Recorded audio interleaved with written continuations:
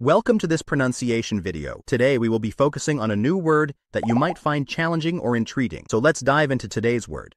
Avon, which means a river or location name in England, often scenic. Let's say it all together. Avon.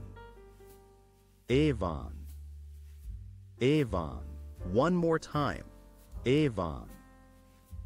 Avon. Avon. Thank you for joining us on this adventure in pronunciation. Remember, language is a journey, not a destination. Keep exploring, experimenting, and expanding your linguistic horizons. We'll see you next time.